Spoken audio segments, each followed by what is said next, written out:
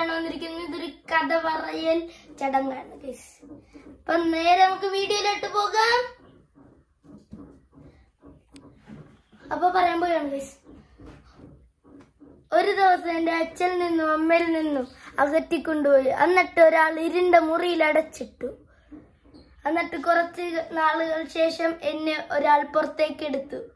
എന്നിട്ട് എന്റെ വസ്ത്രങ്ങൾ ഉരിഞ്ഞ് എന്നെ തിളച്ചെണ്ണയിലേക്ക് ഇട്ടു. ആരാണ് ഞാൻ? പറയുക പഴംപൊരി.